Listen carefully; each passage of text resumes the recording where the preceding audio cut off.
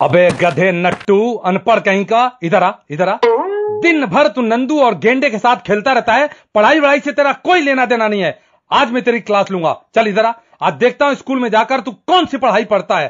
आज चेक करता हूँ। इधर पहले। जो पूछूँगा सुन पहले कान खोल के। जो भी पूछूँगा उसका उत्तर फटाफट देना। ठीक है? हाँ पापा दूँगा ना अरे पूछो ना जो भी पूछने का है। ज़्यादा नहीं ज़्यादा बातचीत नहीं। चल बता हमारे देश की राजधानी क्या है?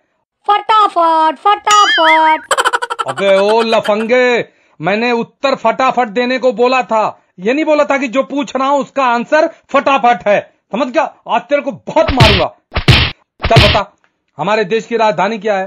क्या पापा तुम भी कुछ भी क्वेश्चन करते रहते। देश की राजधानी दिल्ली है। हाँ बहुत अच्छे बहुत बढ़िया। अच्छा अब बता चल। ज़्यादा पानी पीने से क्या होता है बता? ज़्यादा पानी पीने से क्या होता है? एक मिनट एक मिनट हाँ। अरे ये भी सवाल क्या डैडी तुम भी कुछ भी पूछते रहते?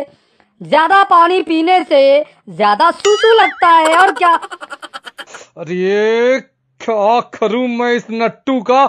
इधर आ मुंडी नीचे कर। पीठ पे इतना मारूँगा छड़ी के ना तेरा।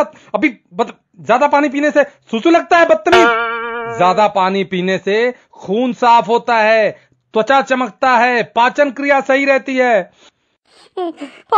मारते क्यों पापा आप मुझे? हाँ खून साफ़ होता है बस खून साफ़ होता है। चल अगला सवाल बता। पंद्रह अगस्त को हमें क्या मिला था? अरे क्या पापा तुम भी अपने बच्चे नट्टू से क्या क्या सवाल करते रहते? आपका नट्टू बहुत ब्रिलियंट है मालूम है।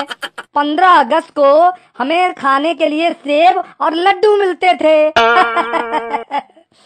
अरे यार ये स्कूल में जाकर क्या पढ़ता है? टीचर लोग क्या पढ़ाते हैं समझ नहीं आ रहा है। अबे गधे तुझे सिर्फ़ सेव और लड्डू याद है? पगले पंद्रह अगस्त को हमारे देश को आज़ादी मिली थी। हाँ सही सही पापा सही बोले। आज़ादी मिली थी आज़ादी मिली थी बराबर। सही है सही है। गधा कहीं का आज़ादी मिली थी जो मैं बोल देता हूँ उसको रिपीट करता है ये। चल अगला सवाल। कौन सा ऐसा पक्षी है जो उड़ नहीं सकता? कौन सा ऐसा पक्षी है जो उड़ नहीं सकता? बता। अरे क्या पापा अपने नट्टू से कैसा सिंपल सिंपल सवाल कर रहे पापा?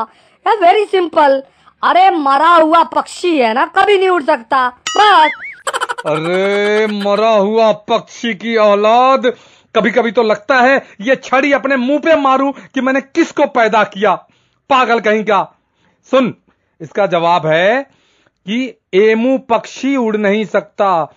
अच्छा अच्छा अच्छा गेमू पक्षी। हाँ गेमू पक्षी गेमू पक्षी। अरे गेमू नहीं बे पगले।